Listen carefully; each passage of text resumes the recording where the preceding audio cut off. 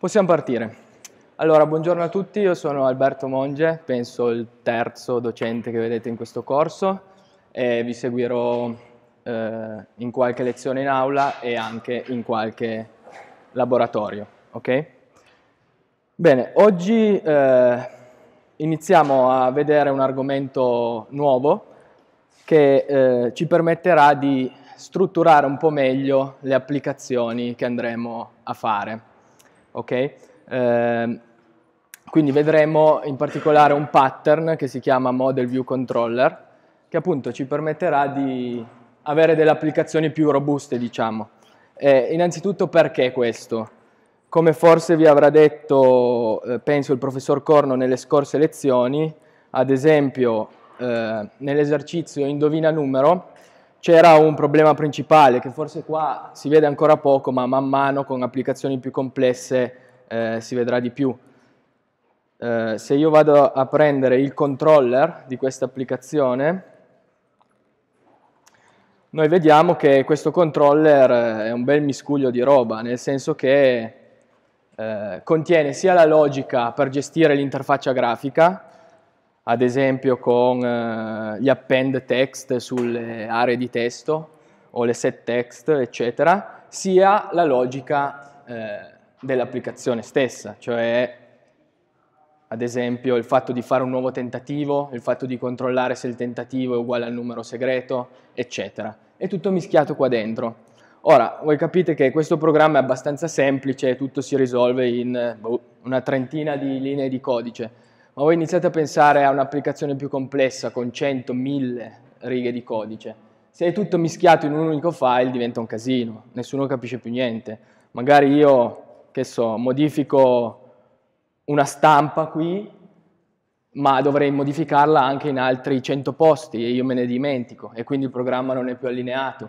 Oppure cambio la logica del gioco in un punto ma non in un altro e tutto va a ramengo, come si dice. Eh, quindi dobbiamo cercare dei modi per strutturare meglio eh, le nostre applicazioni. E questo si fa ad esempio col pattern eh, Model View Controller. E vedremo che divideremo la logica dell'applicazione dalla gestione dell'interfaccia, proprio con classi diverse. Ok, ma per far questo dobbiamo prima partire con eh, il cercare di capire meglio il ciclo di vita di un'applicazione JavaFX. Un po' l'avete già visto, qui cerchiamo di eh, vederlo più, più, nel dettaglio. Ok, eh, tutto parte dalla classe application, no? Quando voi fate un nuovo progetto JavaFX, Eclipse già vi dà questa, questa classe, no? Allora cosa c'è in questa classe? C'è innanzitutto un metodo main, da dove tutto parte, e questo metodo main chiama un metodo launch, che è un metodo, vedremo dopo, della classe application, che noi non dobbiamo definire, è già definito. Questo metodo launch fa tutta una serie di cose e poi chiama il metodo start, questo qua. Okay? Il metodo start cosa fa? In pratica crea una scena in questo caso è creata esplicitamente, negli esercizi che facciamo noi invece utilizziamo un file fxml, vediamo dopo, e questa scena poi è visualizzata con stage.show. Ma vediamo un po' più nel dettaglio eh, questo ciclo di vita. Non so se siete pratici con i diagrammi UML, più o meno. Vabbè, eh, molto brevemente, i rettangoli rappresentano le classi e ogni rettangolo può essere diviso in tre, in cui sopra c'è il nome, ad esempio questa è la classe application, a metà ci sono gli attributi, ok? E al fondo ci sono i metodi. Come vedete la classe application non ha attributi ma ha due metodi che sono start e launch. Allora, come vedete, la classe che Eclipse ci dà, questa qua, la nostra classe, è una classe che estende application, ok? Quindi questa è la nostra classe, estendo una classe application in cui sono definiti appunto due metodi. Uno è il metodo start, che però come vedete è in corsivo. Questo vuol dire che è un metodo astratto, quindi che noi dobbiamo reimplementare nella nostra classe. Infatti se vedete noi abbiamo sempre il metodo start con l'override del metodo, ok? Ereditarietà. Il metodo launch invece c'è già nella classe application e non ce ne dobbiamo preoccupare. Quindi tutto partirà dal main della nostra classe che chiamerà il metodo launch della classe application. Questo metodo launch, oltre a inizializzare varie cose, crea un oggetto stage, la nostra finestra. ok?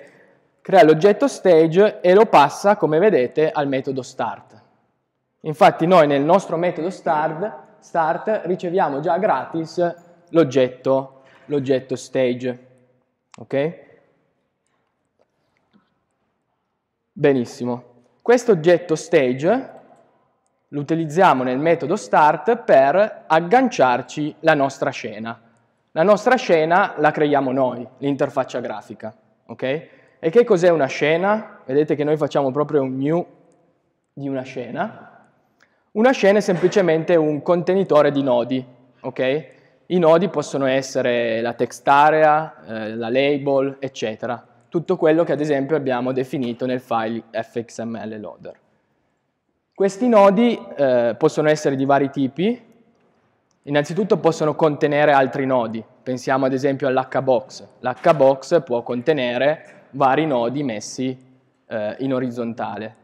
Possono essere dei nodi foglia, ad esempio una label, una label non può contenere nient'altro, e c'è un nodo speciale che è il nodo di root, il nodo radice, ed è quello che noi passiamo alla scena. ok? Noi vedremo che tipicamente il nostro nodo root è un border pane. Ok, si crea la scena e poi, facendo stage.show, l'applicazione parte. Ok? Qui manca ancora una cosa, un elemento fondamentale che vedremo dopo, il controller. Ok? Tenete a mente questo. Vabbè, queste sono cose che abbiamo già detto, possiamo, possiamo saltarle.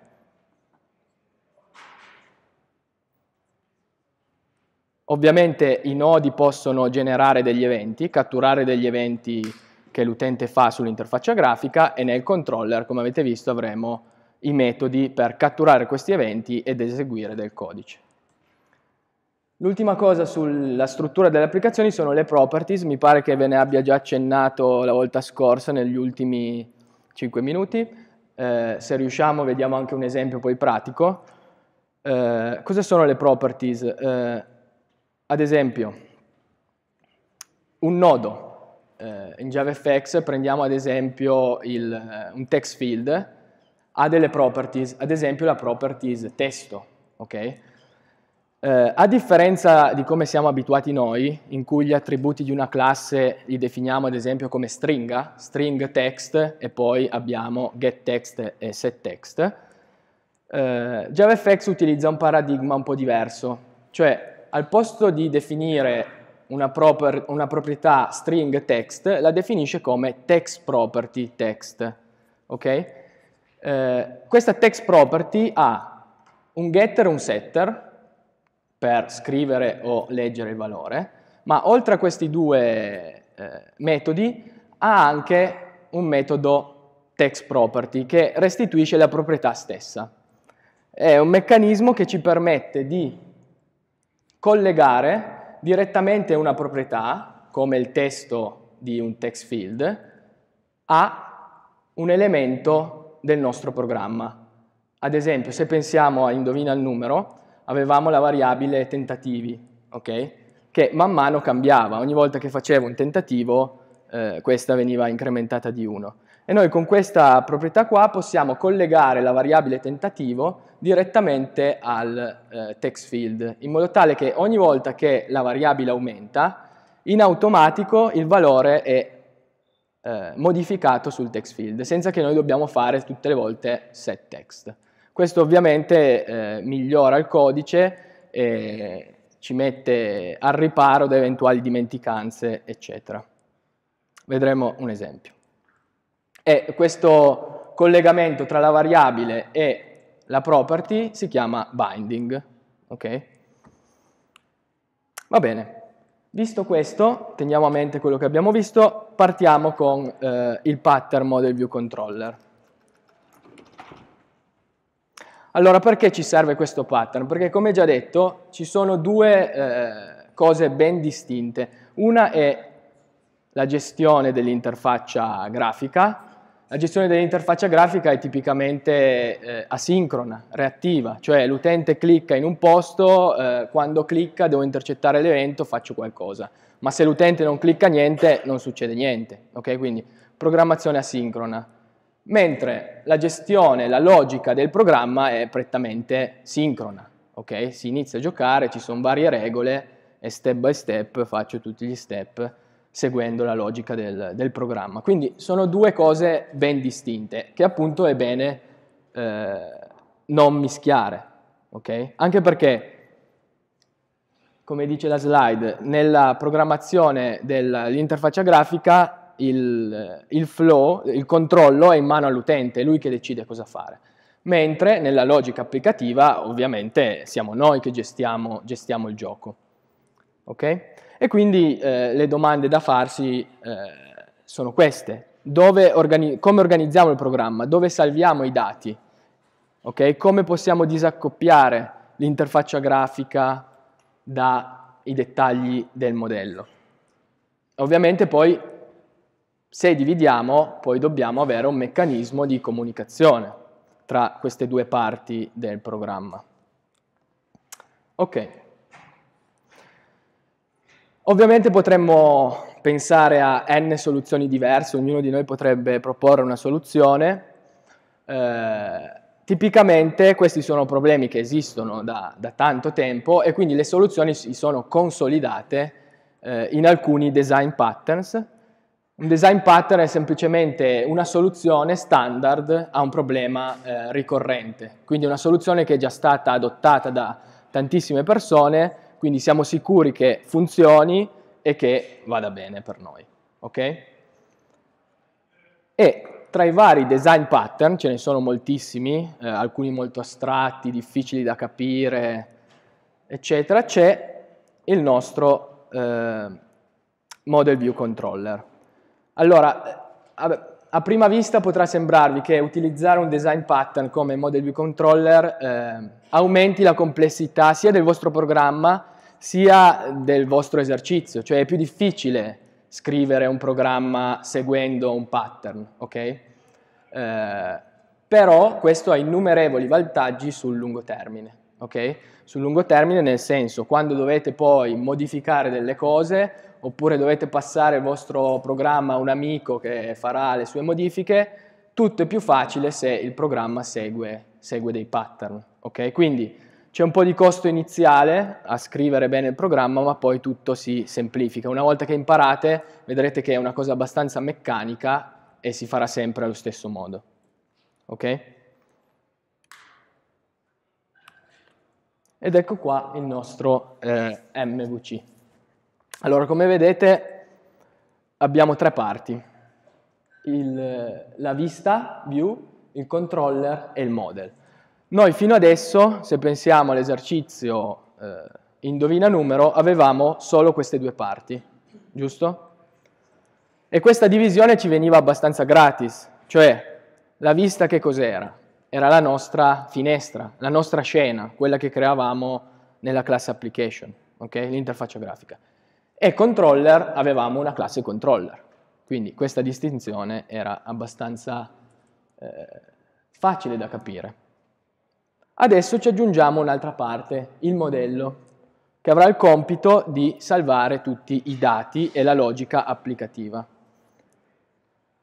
Allora, come vedete, questo è il, è il pattern, quello nella, nella, situazione ideale. Vedremo che ci sono eh, alcune eh, anche alcune alternative a questo pattern. Innanzitutto, l'utente fa qualcosa sull'interfaccia grafica, l'interfaccia grafica comunica col controller, dice l'utente ha fatto questa azione sull'interfaccia grafica. Il controller intercetta questo evento con un, event handler. Questo l'abbiamo già fatto.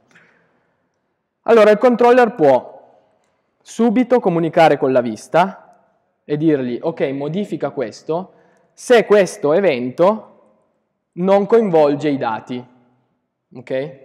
Pensiamo ad esempio al mouse che passa sopra un bottone. Okay? La vista intercetta questo evento, lo comunica al controller, il controller ad esempio dice alla vista ok, colora il bottone in modo un po' più scuro, fine, e la vista esegue.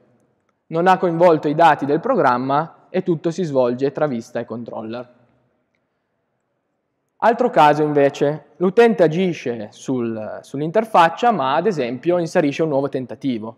Okay? La vista comunica al controller, il controller a questo punto sa che è stato coinvolto un dato, il nuovo tentativo. Allora comunica col modello, gli dice guarda devi cambiare il tuo stato, è stato inserito un nuovo numero. Benissimo, il modello farà le sue cose, controllerà ad esempio se il tentativo è giusto o sbagliato, e dopodiché qui viene la differenza tra il pattern ideale e quello che spesso util utilizzeremo noi. Il pattern ideale prevede una comunicazione diretta tra il modello e la vista. Cioè il modello ha fatto qualche operazione, ad esempio ha visto che il tentativo era corretto, direttamente comunica alla vista ho cambiato il mio stato, ok? Ho cambiato il mio stato, modificati di conseguenza. Questo è il modo di lavorare che si ha, ad esempio, con le properties che, di prima, ok? C'è un collegamento diretto, ad esempio, tra la variabile tentativi e il text field del, della vista. Questo è il modo più figo.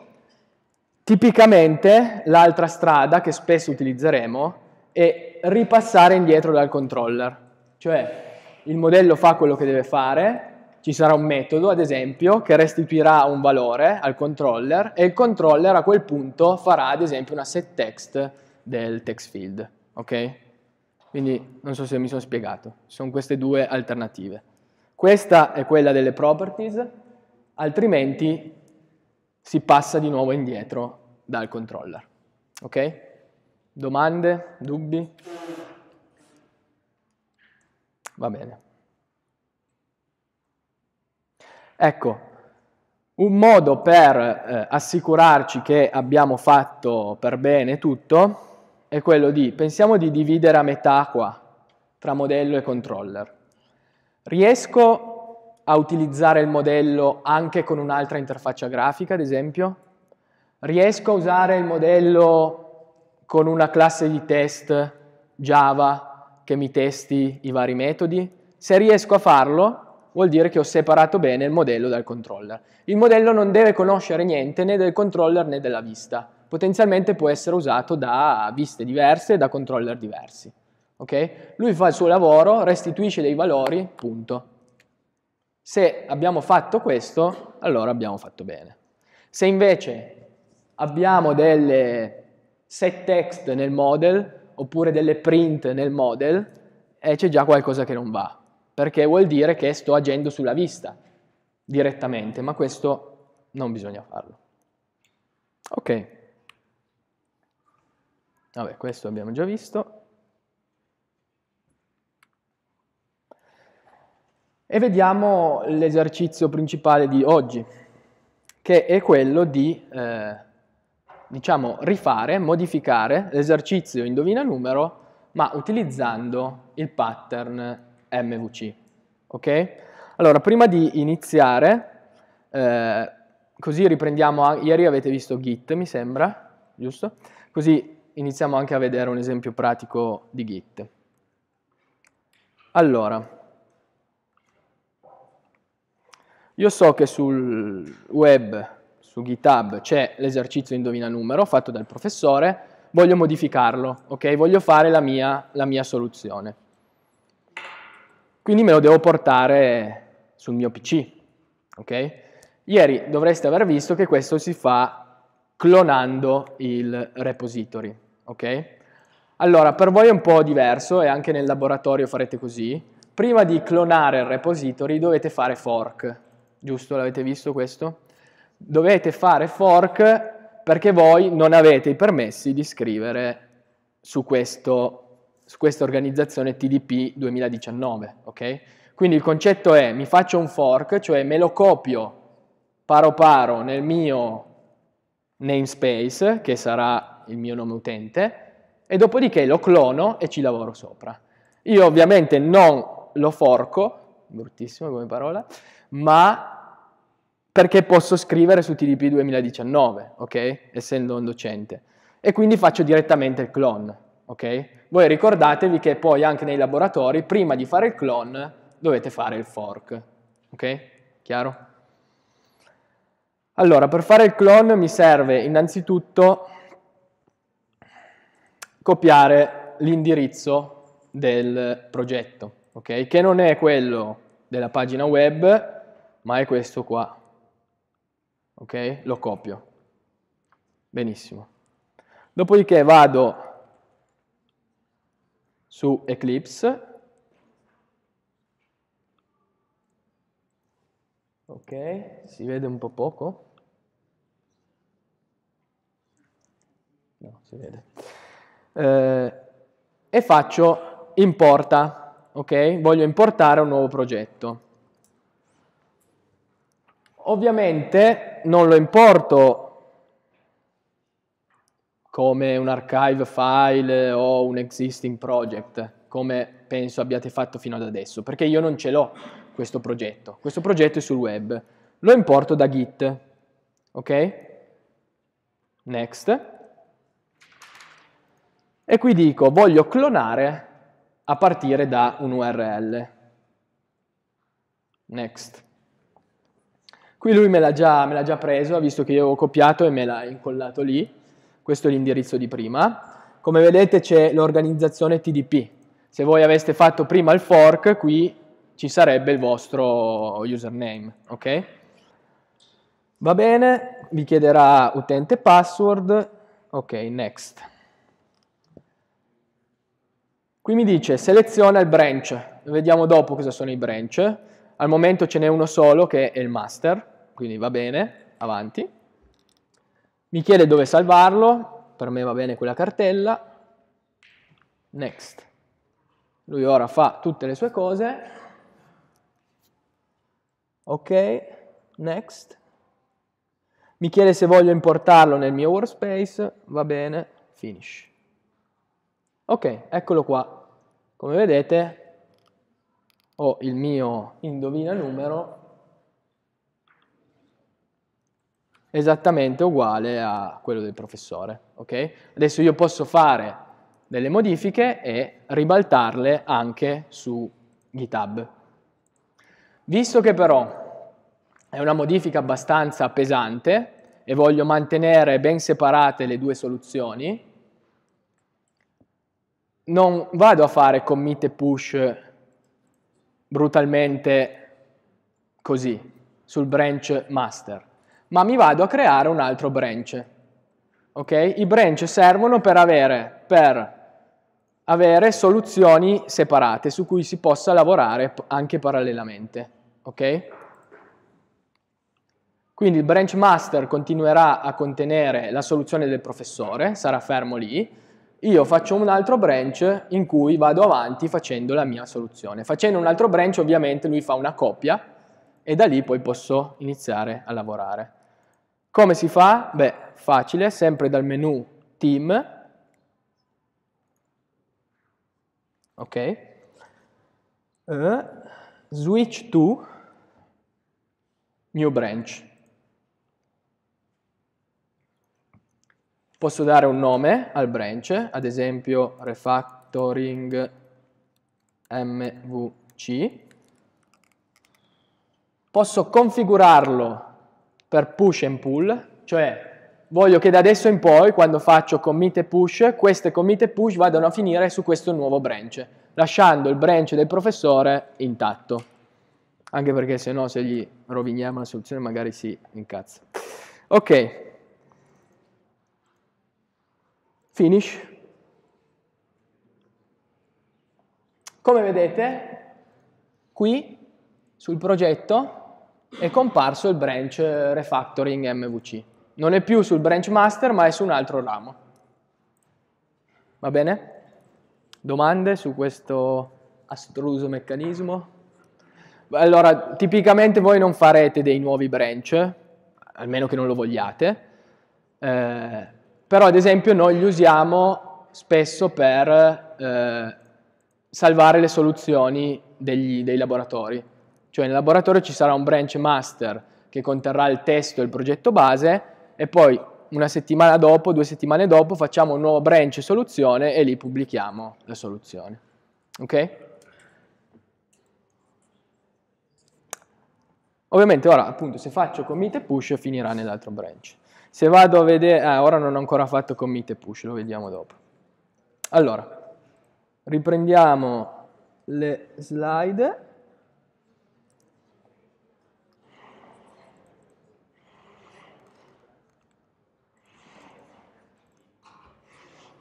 Ovviamente poi... Ah, dimmi.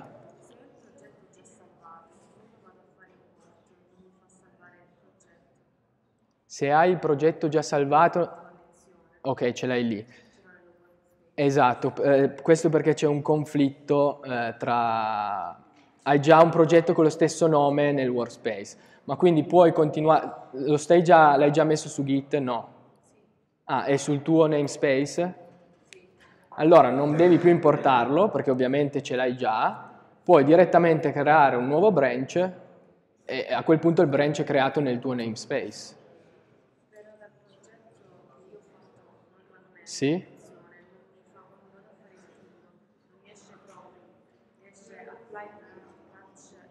Ok, allora eh, eh, dipende, ci sono vari casi, piuttosto nell'intervallo vieni, lo vediamo insieme. Ti consiglio di, se la tua soluzione è allineata a quella del professore, bene o male, continua a lavorare su quella facendo direttamente le modifiche lì. Tanto poi tutto è su GitHub, anche le nostre soluzioni, quindi non ti perdi niente. Ok? Poi nell'intervallo sistemiamo. Ok, altre domande? Ovviamente questo probabilmente non lo vedremo mai, ma solo per darvi un'indicazione di cosa servono i branch. I branch possono anche servire appunto quando ho da fare una modifica pesante, faccio un branch perché non sono sicuro di quello che sto facendo, così almeno posso tornare sempre indietro. Vado avanti su questo branch, se poi le modifiche mi riescono posso fare un merge, cioè posso riunire i branch ok? Le modifiche che ho fatto le riporto nel branch principale e questo si chiama merge in Git. Non penso lo vedremo, però per chi è interessato può, può documentarsi. Ok, torniamo al nostro bel indovina il numero. Allora, cerchiamo prima di vederlo sulle slide, poi ovviamente lo faremo praticamente. Queste sono le domande che dobbiamo farci. Dove dichiariamo le classi dato, quale classe deve avere accesso a quale classe, chi, cre chi crea quali oggetti, eccetera. Allora noi partiamo da qui, da questa che è la nostra soluzione semplificata. Abbiamo la nostra vista che è la scena, che avrà i suoi vari nodi con i getter e i setter, e poi abbiamo il controller, che in questo caso si chiama numero controller, che come attributi contiene un po' tutto, quindi sia la vista che le variabili di gioco, tmax, nmax, eccetera, e come metodi anche qui ha sia gli event handler che eh, la logica, quindi lo start di una nuova partita, un nuovo tentativo, eccetera. La vista può generare degli eventi, il controller può ottenere o settare dei nodi come setText o getText. Ok, noi vogliamo eh, farlo meglio. Ovviamente, vi siete mai chiesti chi crea il controller? Se io vado sul mio progetto, come vedete, questo è il controller, ma chi lo crea? Se vado nel main,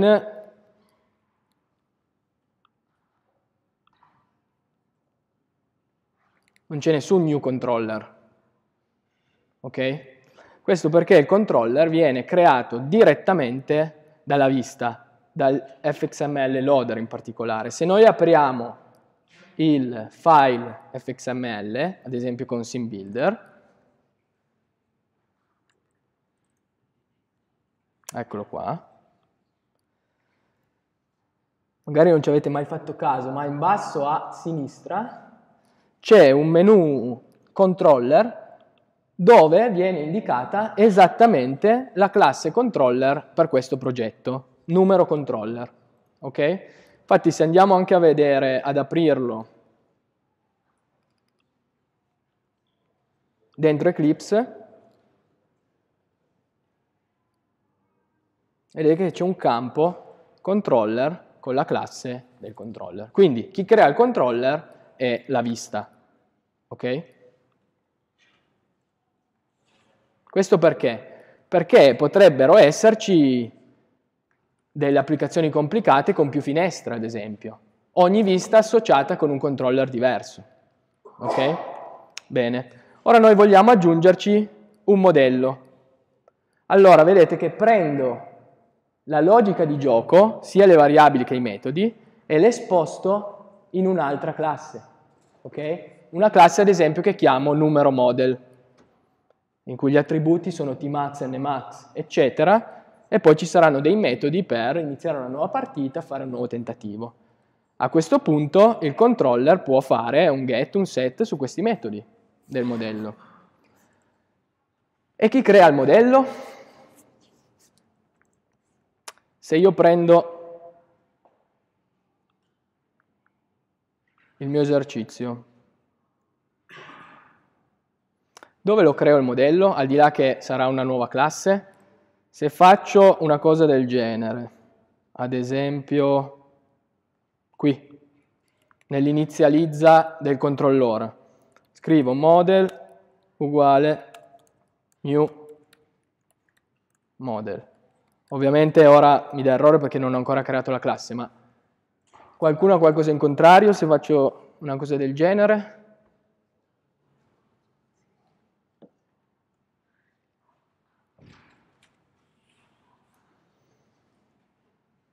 Non è propriamente giusto. Questo perché se io creo direttamente il model nel controllore, c'è una connessione molto stretta tra il controller e il model. Cioè il model sarà per forza quello lì e sarà associato solo a quel controller. Pensiamo a un'applicazione molto più complessa, in cui ci sono n controller, ok?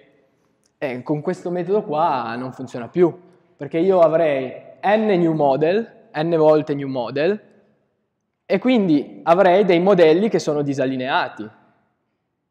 Pensiamo, che ne so, al libretto voti che sta, avete iniziato a fare ieri. Eh, se io ho la mia lista di, di voti, eh, questa lista deve essere uguale per tutte le finestre, per tutti i controller, ok? Quindi deve essere condiviso potenzialmente da più controller e se lo metto qua ovviamente non è più condiviso da nessuno. Ok? Quindi il modello non lo crea direttamente il controllore, ma dobbiamo cercare un posto fuori da tutto per fare questa new. E qual è questo posto? La class application. Ok? La class application è eseguita una sola volta e quindi è il luogo ideale per creare oltre che per creare la scena, come abbiamo visto, per creare il modello. Ma adesso sorge un altro problema. Creato il modello, come dico al controllore che quello è il modello su cui deve lavorare? Semplicemente aggiungerò un metodo setModel al controllore e dalla classe application con quel metodo lì dirò al controllore ehi, questo è il tuo modello, lavora su questo. Ok? Questo è il pattern che useremo sempre, quindi imparato una volta e imparato per sempre. Il, la class application crea il modello, ovviamente con una new, perché se non fate la new nulla funziona. Uno degli errori più classici è non fare la new del modello, e poi ci sono un botto di eccezioni. Crea il modello e poi chiama il metodo setModel del controllore passandogli questo nuovo modello. Potenzialmente, appunto, ci possono essere n controllori, quindi n set model, ma il model è sempre lo stesso. Quindi le modifiche che farà un controllore le vedrà anche l'altro controllore. Ok? Domande, dubbi?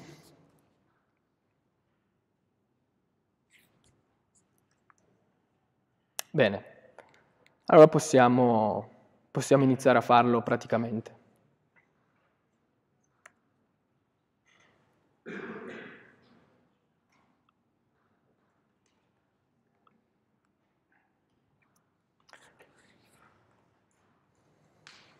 Allora, abbiamo detto che ci serve una classe model.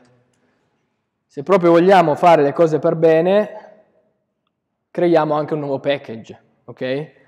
Avremo questo package che conterrà il main e il controller e un package adatto al modello, anche perché in questo caso il modello è una singola classe, ma presto vedremo che il modello può essere composto da più classi, ok? Ad esempio, quando lavoreremo con i database vedremo che le cose si complicheranno un po'. Quindi creiamo un nuovo package che chiamiamo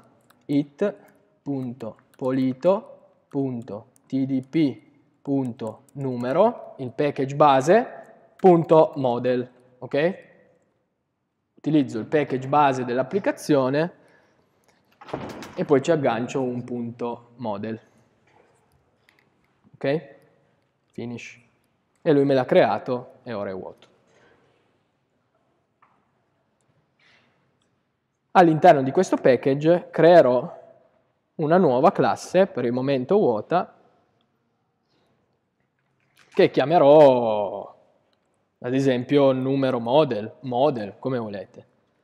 Numero model, ovviamente non ha un main, finish.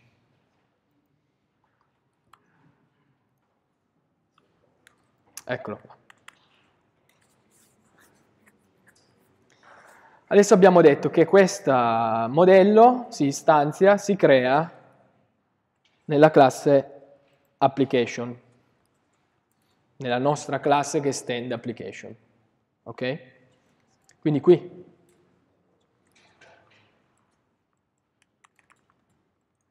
mi creo una nuova istanza del modello. Quindi numero model uguale new numero model.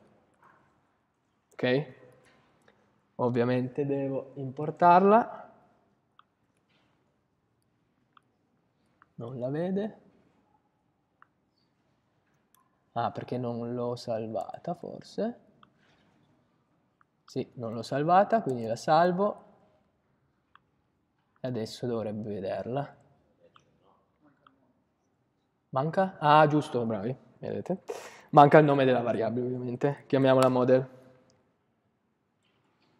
Import. Ok, ricordarsi di fare la new del modello, ripeto, perché sennò... Va bene.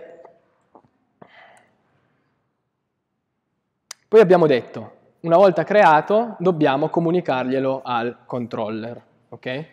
Quindi a questo punto il controller, vado ad aprire il controller, dovrà ovviamente avere un riferimento a questo modello. Ok? Chiamiamolo private numero model model. Importo. Ovviamente non faccio la new qui, come detto prima, questo sarà solamente il riferimento. Riferimento che sarà riempito dal metodo setModel. Allora posso farglielo generare direttamente da Eclipse se no lo scrivo io, è uguale. Eh, source genera getter e setter, voglio solo il modello e voglio solo il set. Per adesso mi interessa solo il set. Genera. Eccolo qua. Chiunque può utilizzare questo metodo per dire al controllore, per comunicare al controllore il modello. Va bene? Lo vado a mettere al fondo perché qua non mi piace.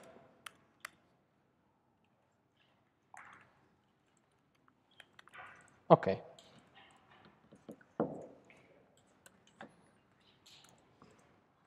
Adesso torno nel mio, nella mia classe main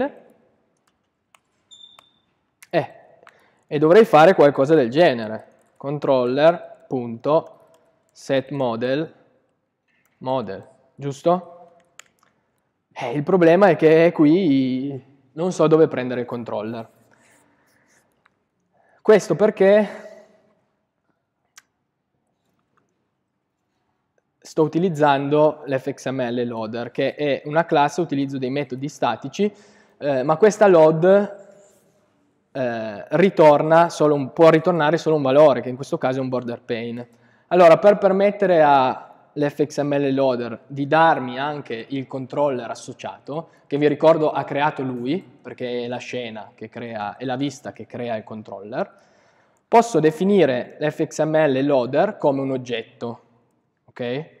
Quindi, prima di tutto, mi definisco fxml loader, chiamiamolo loader,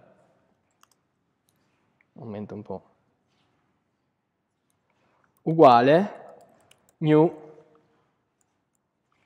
fxml loader. Ok? L'ho definito come oggetto. A questo punto, qui non userò più la classe, ma userò il loader, l'oggetto che ho appena creato, ok? Ma avendo l'oggetto, va bene? Posso anche richiedere allo stesso oggetto qual è il controllore che lui ha creato per noi. Quindi posso dire numero controller, controller, uguale, lo chiedo al loader, loader.get get controller. Ok?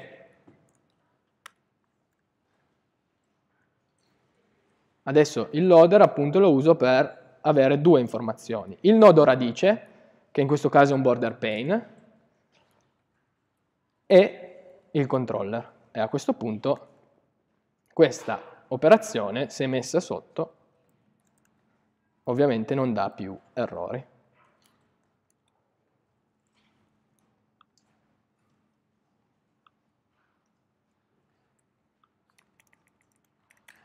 Ok? Quindi rispetto al codice che Eclipse ci autogenera, dobbiamo sempre fare questa piccola modifica.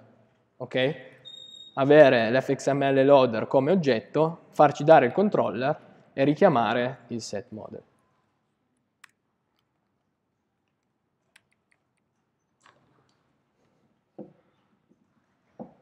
Domande?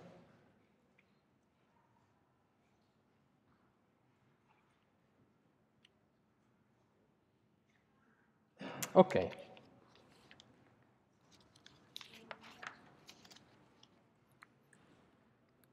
E adesso, avendo strutturato l'applicazione, vi ripeto che sarà sempre così, quindi possiamo andare a riempire i vari pezzi e in particolare a spostare della roba dal controller al modello. Allora ragioniamo, dimmi.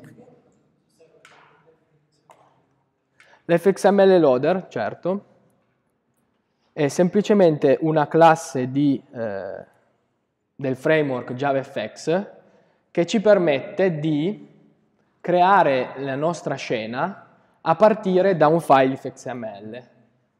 Ok? Perché altrimenti noi dovremmo fare tutte le volte crearci manualmente tutti i nodi da mettere nella scena. Dovremmo fare new text field, new label, new text area e poi agganciarli alla scena. Con l'fxml loader, scusate, è un po' difficile da dire, eh, riusciamo a farlo tramite SimBuilder, in poche parole. Lo facciamo tramite SimBuilder con un file e questo ifxml loader prende questo file e automaticamente per noi ci, ci fa queste new, ci aggancia tutto e butta tutto nella scena, in automatico. ok? Questo è il suo, il suo compito, perché altrimenti ovviamente si può fare, eh, si può creare un nodo direttamente da codice e aggiungerlo alla scena, però non è molto comodo, ok? Perché non lo fa già in automatico Eclipse? In che senso? Questo, questo, prendere questa classe e creare un oggetto, perché non viene già fatto in automatico? prendere, stai parlando... Ah, eh, non lo so, perché è così, l'hanno fatto così purtroppo. Perché ovviamente nessuno è obbligato a seguire il pattern MVC, ok? È una scelta, probabilmente per questo. Ok? Dovessi seguire un altro pattern, magari dovresti fare altre modifiche. Ok, proviamo a ragionare sulle operazioni che questo modello deve, deve fare. Pensando al gioco, riprendiamo un attimo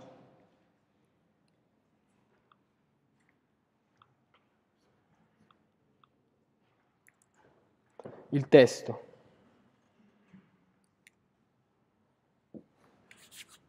Che opera- quali sono le operazioni eh, strettamente collegate alla logica di gioco?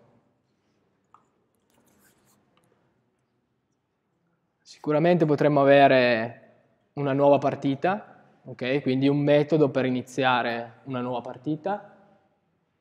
Sicuramente poi potremmo avere un metodo per fare un tentativo, ok? Almeno questi due metodi ci servono. Poi ad esempio le variabili nmax e tmax sono relative all'interfaccia grafica o al modello? Al modello ovviamente, ok? Perché fanno parte della logica del gioco, non c'entrano nulla con l'interfaccia grafica. L'interfaccia grafica al massimo li visualizza. Ok, quindi sicuramente vado a prendermi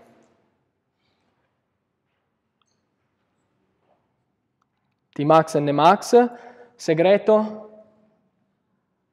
anche farà parte del modello. Tentativi fatti anche. Il gioco anche. Tutta roba che è relativa al gioco in sé.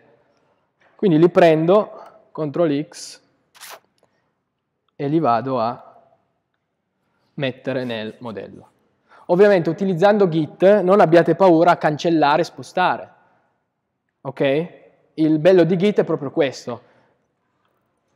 Non dovete commentare la roba prima di spostarla, eccetera, perché è un metodo errato, nel senso che poi avendo una pagina piena di commenti non capite più niente. Utilizzando Git non abbiate paura a cancellare e spostare perché tutte le volte si può tornare indietro, quindi tutta la history è salvata sul web e quindi non c'è problema, se sbaglio posso tornare indietro.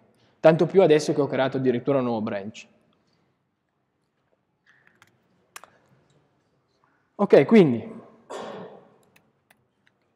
iniziamo a fare un metodo per una nuova partita.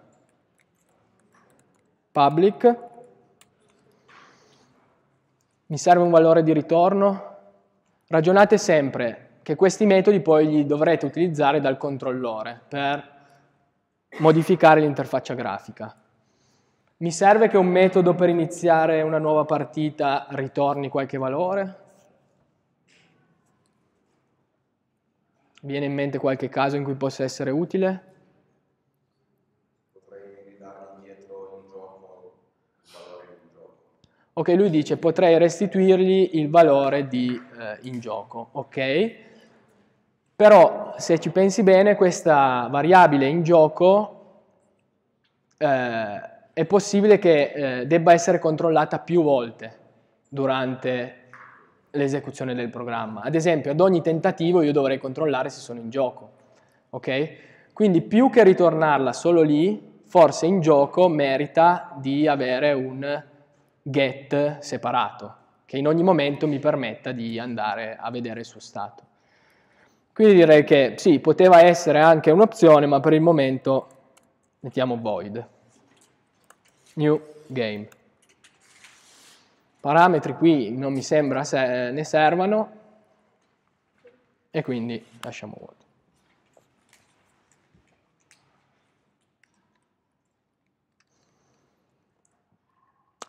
Cosa fa New Game? Beh, semplicemente imposterà in gioco a vero, giusto? E poi dovrà, se è una nuova partita, esatto, inizializzare tutto, quindi tirare a caso un numero e impostare i tentativi a zero. ok? Quindi andiamo a vedere se c'erano, sicuramente c'erano queste linee di codice qui, eccolo qua, inizializza il segreto tra 1 ed nmax, imposta i tentativi fatti a 0. Taglio. Eccolo qua.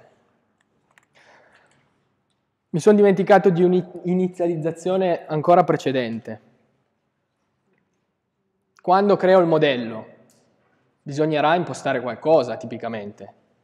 Quindi mi definisco il costruttore. Ok? Non lo lascio vuoto, ma ad esempio, vabbè in questo caso è facile, in altri programmi ci potrebbero essere più cose da inizializzare solo una volta all'inizio, e in questo caso appena partito in gioco sarà sicuramente a falso. Ho già messo lì sopra, eh? però così siamo sicuri.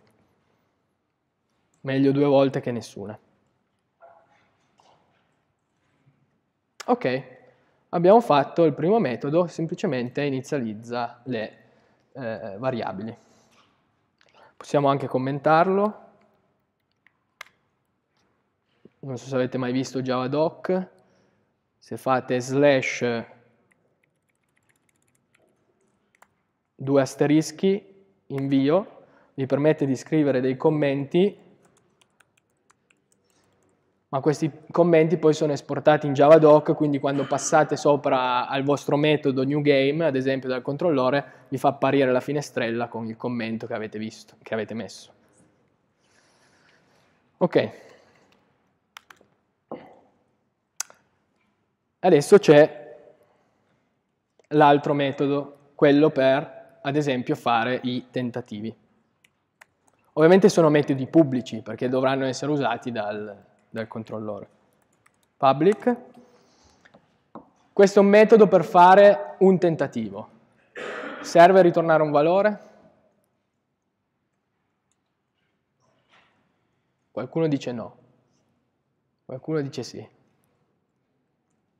E stavolta sì che serve, perché io dal controllore devo sapere se questo tentativo era troppo alto, troppo basso, era giusto.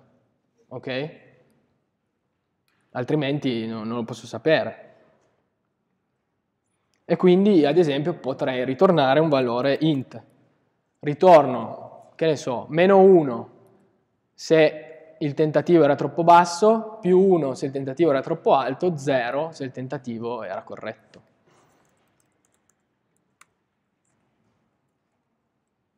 Ovviamente qui ci va un parametro, che è il tentativo fatto dall'utente, int t. Ok, quindi il controllore intercetterà l'input di un numero e richiamerà questo metodo passando questo numero al metodo tentativo del model.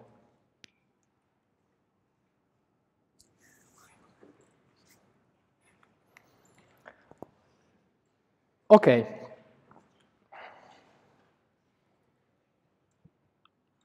Se andiamo a vedere qui nel controllore, la prima parte del metodo era un controllo del tentativo, ok?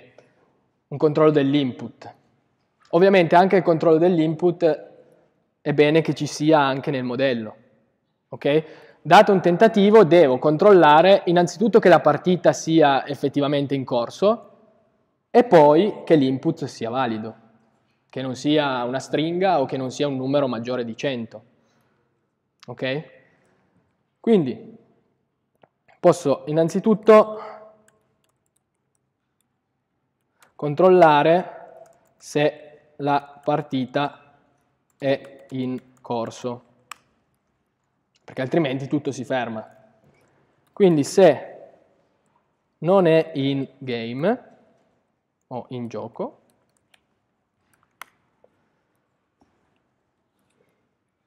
vuol dire che non, non devo andare avanti. Qui ci sono varie alternative, cerchiamo di eh, fare la più elegante. Nel senso che qui potrei eh, ritornare ad esempio un altro valore, che non sia né meno 1 né 1 né 0, che sia un errore, che ne so, stabiliamo noi che ritornare 5 vuol dire che la partita non era in gioco. Questo metodo è un po' rischioso però, perché ci possono essere vari tipi di errore. Quindi dobbiamo ricordarci tutto, dobbiamo ricordarci che se ritorno 5 vuol dire che la partita non era in corso. Se ritorno 6 vuol dire che l'utente ha inserito una stringa, se ritorno 7 vuol dire che l'utente ha inserito un numero maggiore di 100. Capite bene che è un po' un accrocchio, cioè funziona, ma bisogna essere sicuri di quello che si fa, soprattutto se poi mi passate questo codice a me, io magari non capisco più niente, perché è ritornato 5, perché 6. Allora il modo più elegante di farlo è tramite le eccezioni. Ok?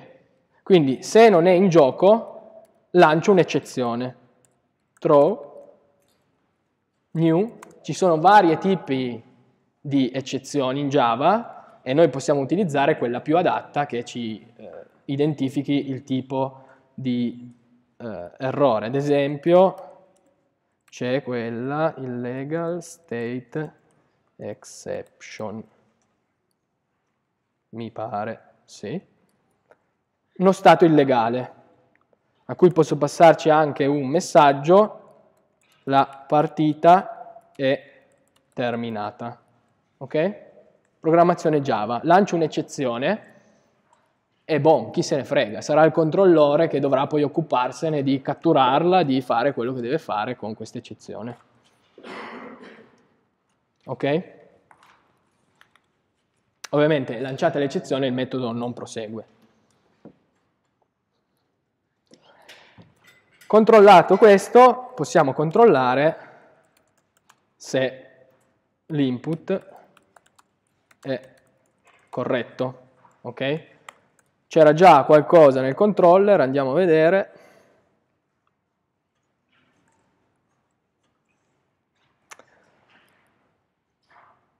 Ovviamente questo controllo qui, che provava a convertire quello che l'utente inseriva in un numero, va bene qui e non nel modello. Okay? Questo perché? Perché il modello si presuppone che riceva già i dati del tipo corretto, ovviamente. Cioè, qui io gli ho detto che tentativo va richiamato con un intero, non con una stringa, quindi nessuno può chiamare quel metodo con una stringa. Il controllo, se l'input è veramente del tipo giusto, va fatto, va lasciato nel controllo. Invece il controllo, che qui forse non c'era, o c'era, non, non, lo so, il controllo che l'input sia nel range giusto, perché se andiamo a vedere il testo,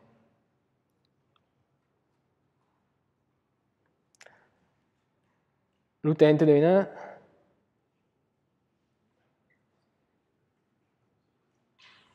Sì, qua non lo dice, però potremmo aggiungere un controllo affinché l'utente inserisca un tentativo nel range giusto, tra 1 ed n max. Se inserisce 1000, gli diciamo no, per favore inserisci un numero tra 1 e 100. Okay? Questo è un possibile controllo non sul tipo ma sul range del valore. E questo tipicamente sta nel modello.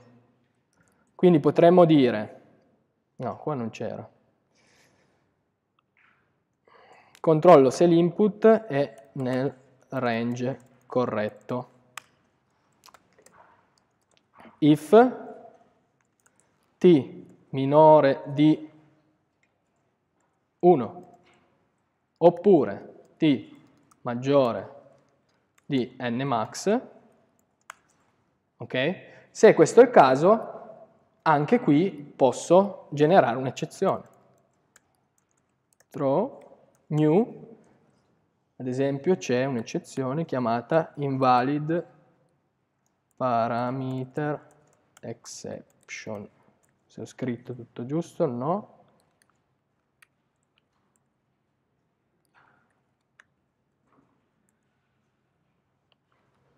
Import.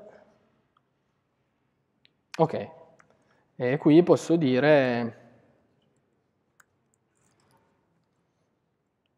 ad esempio string.format devi inserire un numero tra percento %d e percento %d,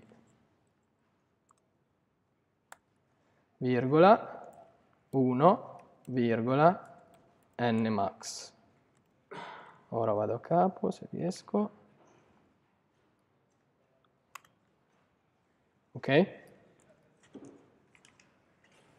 Mando semplicemente questo messaggio. Ho usato due eccezioni di tipo diverso per discriminare il tipo di errore. Dimmi.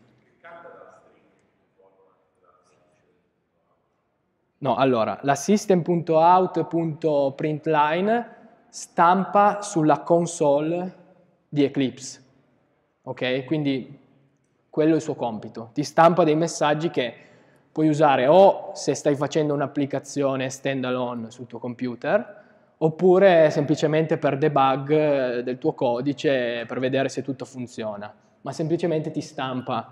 La string.format è semplicemente un modo per concatenare delle stringhe con dei numeri, ad esempio, col percento di, ma funzionava anche avessi fatto così, eh?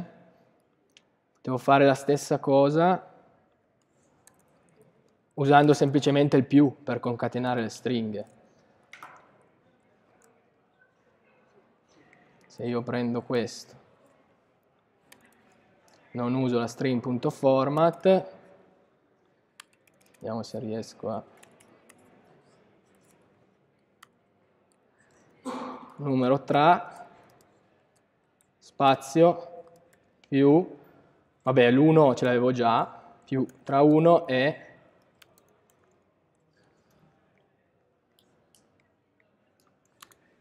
ok? Concatenavo le stringhe col più. Però forse più elegante questo. Cambia niente. Ok. Possiamo ancora migliorare un po'? Perché magari questo controllo del range lo, lo usiamo qui, ma anche magari in un altro metodo. Magari anche dal controller vogliamo già sapere se l'input è corretto, ok? Supponiamo adesso di cambiare la logica del, del range o di aggiungere un altro controllo. Lo aggiungo qua, ma poi devo ricordarmi di farlo da tutte le altre parti. Ok? Quindi, secondo me, è utile avere un metodo a sé stante deputato a fare solo quello, che possa magari essere chiamato anche dall'esterno. Chiamiamolo public, boolean, mi restituisce vero o falso, e chiamiamolo tentativo valido. A cui ci passiamo il tentativo. Semplicemente questo metodo, tentativo, tentativo, mi dice se il tentativo è nel range giusto oppure no.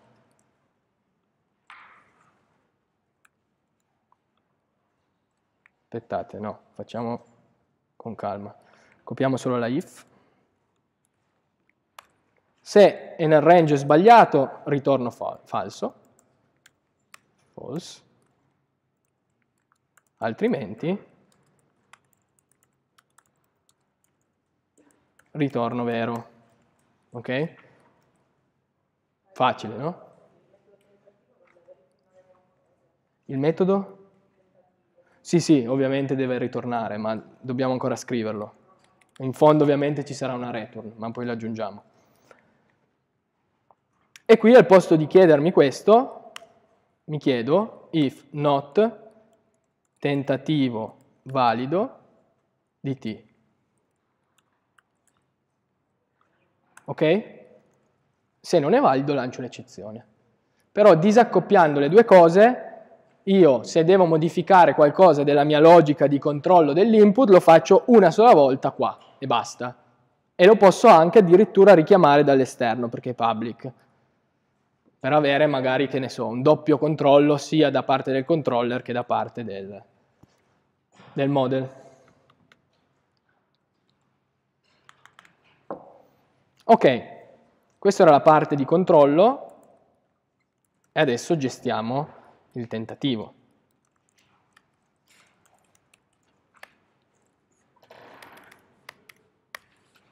Ok? Quindi qui ho tre casi possibili. Partiamo dal, dal più semplice. If this punto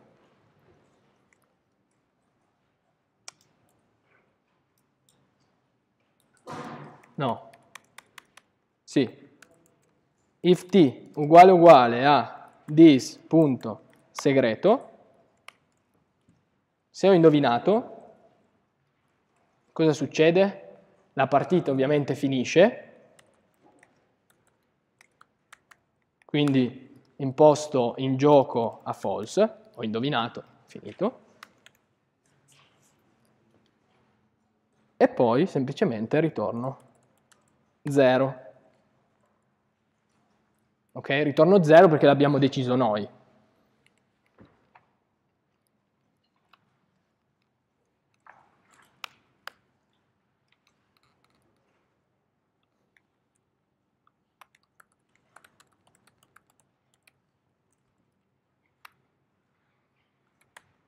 Altrimenti, se t è maggiore di dis punto segreto, la partita non è finita, perché non ho indovinato, ritorno 1. 1 di nuovo l'abbiamo deciso noi, una convenzione che ci siamo dati, per noi ritornare 1 vuol dire che il numero, il tentativo è troppo alto.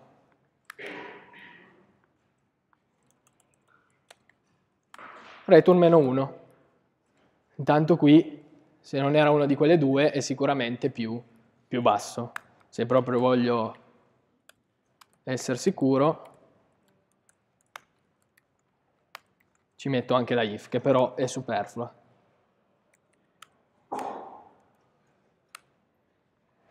Ovviamente se metto la if superflua, eh, Eclipse si arrabbia perché non è tanto furbo, perché lui pensa che ci potrebbe essere un caso in cui nessuna di queste if è eseguita. In realtà non è vero, sappiamo che una delle tre verrà per forza eseguita.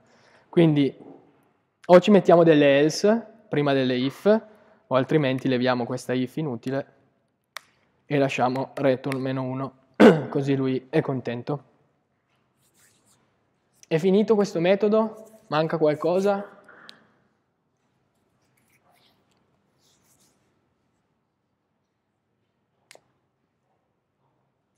Ok, faccio un tentativo, vedo se ho indovinato oppure no, ma dovrò anche eh, controllare i tentativi, cioè incrementare i tentativi di 1, quindi prima di tutto incremento il tentativo, tentativi fatti più più, ok? Ovviamente questo è fatto solo se l'input è corretto, ok? E poi ci sarà un altro controllo da fare, perché se ho già raggiunto il numero massimo,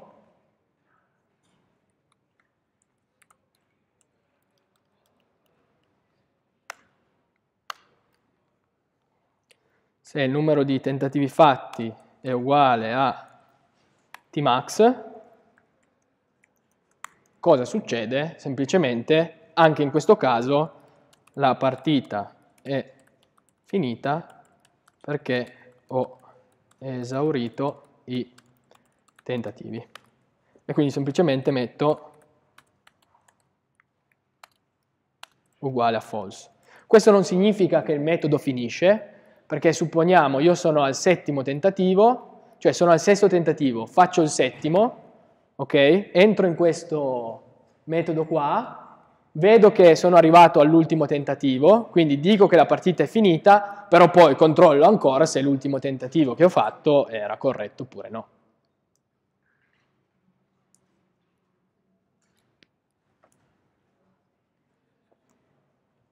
Ok?